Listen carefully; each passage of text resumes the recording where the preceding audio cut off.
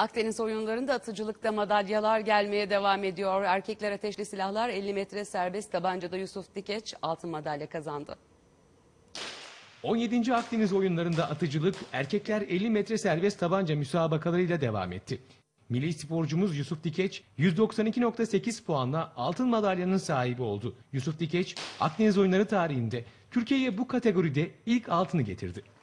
10 metre havalı tabancada gümüşte kalan milli sporcumuz Yusuf Dikeç böylece oyunlarda ikinci madalyasını kazandı. Vallahi çok güzel duygu yani sonuçta dün e, havalı silahlardaki yani işte 0.5 puanla kaçırdık altın madalyayı. Burada altın çıkması çok sevindirici güzel oldu. Yani gelecek için güzel oldu. Yani ülkemiz için iyi oldu. İnşallah bundan sonra daha iyi olur diye ümit ediyorum.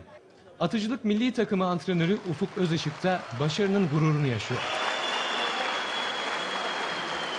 Madalyalarımızın ben halen devam edeceğine inanıyorum. Ayın 28'i dahil olmak üzere müsabakalarımız var. Her gün aynı şeyleri yaşayabileceğimizi değerlendiriyorum. Çünkü sporcularımızın hepsi bu performanstalar.